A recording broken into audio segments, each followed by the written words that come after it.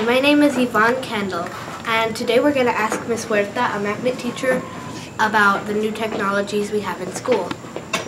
As you know, Bennett Kayser donated an iMac computer cart for Bryson magnet.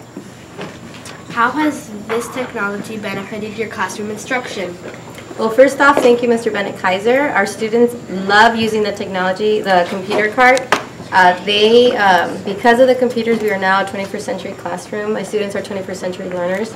They are able to work on different um, parts, different uh, projects in the computer. For example, PowerPoint.